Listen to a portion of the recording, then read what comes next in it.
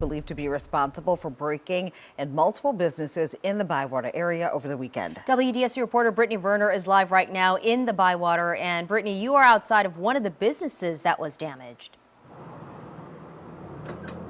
Yeah, I'm actually standing outside of the Bacchanal Fine Wine and Spirits establishment. They said they were just one of several businesses that were impacted on Sunday morning by the string of break ins in this area. Now, if you take a look at your screen, you can see um, what happened Friday night around 10. NOPD responded near Dauphine and Louisa Street after a glass door at Satsuma was smashed in, resulting in a missing cash register. Then a few blocks away, this time on Sunday morning, investigators say a few more businesses were broken into. and one of them, a safe was taken. Then it happened at Low Point Coffee near Poland Avenue and Urquhart Street.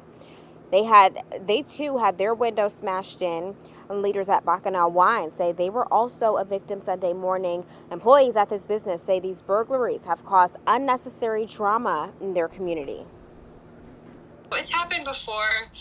Um, like someone had smashed the window before, and it sucks because you have to pay to get it repaired, or you know, it just is like you know, it's there's never a good good time for something you know like that to happen, uh, whether it's like a burglary or a hurricane or something out of your control. So um, just have to deal with it and keep going.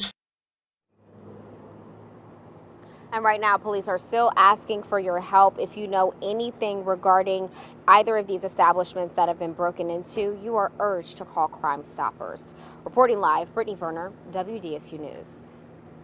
The